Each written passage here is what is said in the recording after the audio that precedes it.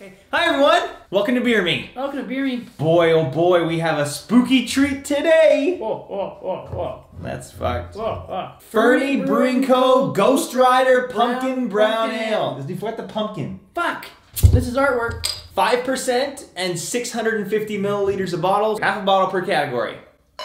Fuck yeah. Artwork, It's so plain. there's not a lot to it. It's basically the name of the beer and a big fucking mountain behind I think that's it. Fernie. Have you ever been to Fernie? The mountain's a beautiful place. No, I've never been. It's beautiful. The artwork in real life is 10 out of 10. Fernie Brewing Co. Ghost Rider Pumpkin Brown Ale. That's, That's the name. it right there, and there it that's, is. That's the name, and then there's a mountain. Yeah, so I mean, it's orange and it says pumpkin. That's cool. Named after a local Fernie legend, our classic brown ale brewed with pumpkin, spice, and all things nice. 5 out of 10. Five out of ten for me. This is taste. Time to taste Fernie's Ghost Rider. Oh, I want to taste a Ghost Rider. You want to taste Nick Cage? Nick Cage. I want to taste his fucking.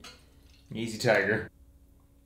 It's tasty. I gotta say, they nailed the taste. It's smoky a little bit. Yeah, oh, it is. It literally tastes like everything they say that's in it. I can taste the pumpkin, I can taste the spice, and the, the brown. Yeah, I can taste. Good taste.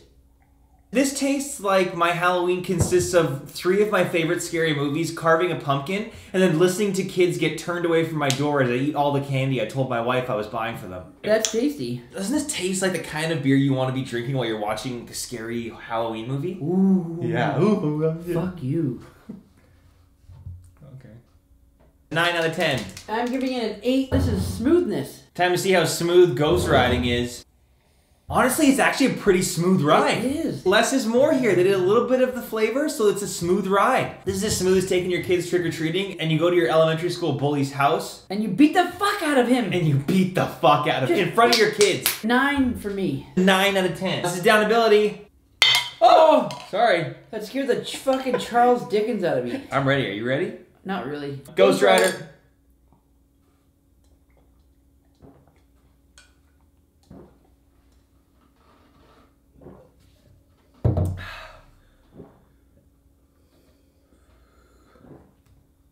Ew, it sounds like someone's pumping blood through my ears listening to you drink that.